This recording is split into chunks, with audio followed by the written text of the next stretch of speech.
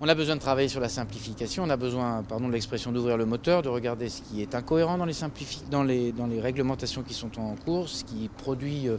de la paperasse euh, ou de la paperasserie qui est inutile, ce qui produit de la suradministration et ce qui produit chez les agriculteurs. Le sentiment que euh, finalement on n'est pas à l'écoute d'une volonté de simplification générale. Et donc on a besoin de créer les conditions de la confiance. Et pour créer les conditions de la confiance, il faut qu'on regarde réglementation par réglementation. Et j'ai poursuivi ce matin le travail qui a été souhaité euh, par euh, le Premier ministre, par le Président de la République, de regarder